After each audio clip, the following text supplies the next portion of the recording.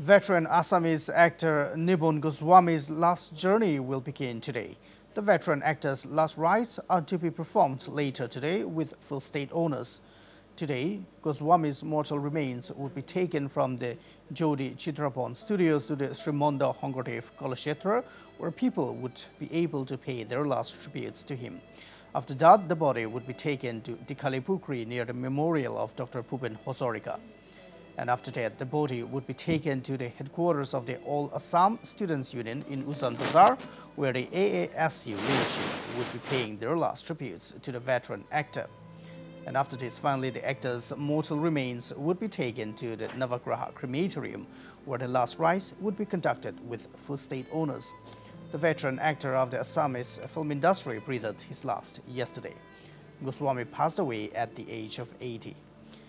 Nipun Goswami was one of the most recognized personalities in the cultural strata of Assam and is regarded as the doyen of Assamese film industry. He was admitted to the ICU of Guwahati's Nemcare Hospital owing to cardiac arrest.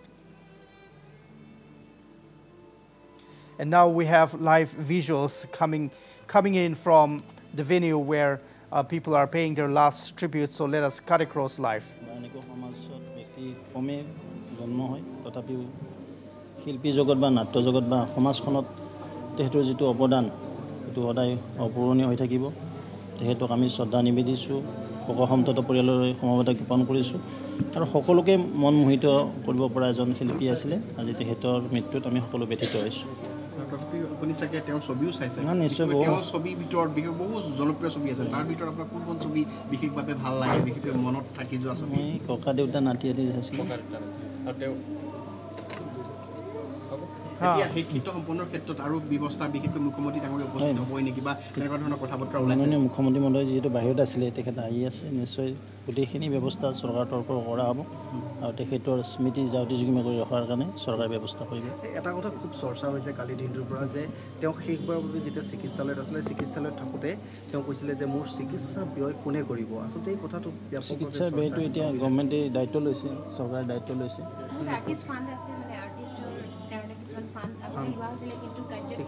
নিশ্চয় যিখিনি fund পাব লগা আছে বা দিব লগা আছে নিশ্চয় গভৰ্ণমেণ্টৰ তৰফৰ পৰা কালচাৰেল এফেয়াৰ্ছ ডিপাৰ্টমেণ্ট আছে সাংস্কৃতিক আমাৰ কল্যাণ বিভাগৰ জৰিয়তে নিশ্চয় কৰা হ'ব। নিশ্চয়।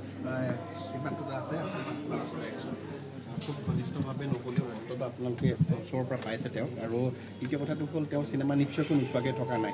তথাপিও আজি এই মুহূৰ্তত অকণমান যদি অকণমান আপোনাক তেখেতৰ কথা ক'বলৈ আমি মই নিপনদাক বহুত ঘনিষ্ঠভাৱে পাইছোঁ। শেষৰ কালচোৱাত একেবাৰে ঘনিষ্ঠভাৱে পাইছোঁ। আৰু নিপনদা আমাৰ কাৰণে সাংস্কৃতিক জগতৰ লগতে চলচ্চিত্ৰ জগতৰ লাইখুটা টাইপ আছিলে। নিপনদা আৰু বিজুদা দুজনকে আমি হেৰুৱাইছোঁ। আৰু দুজনে আমাৰ কাৰণে অনুপ্ৰেৰণাৰ উৎস। আৰু আগন্তুক সময়ত যিমানখিনি আমাৰ নতুন অভিনেতা অভিনেত্ৰী আছে তেখেতসকলৰ কাৰণে অনুপ্ৰেৰণাৰ উৎস।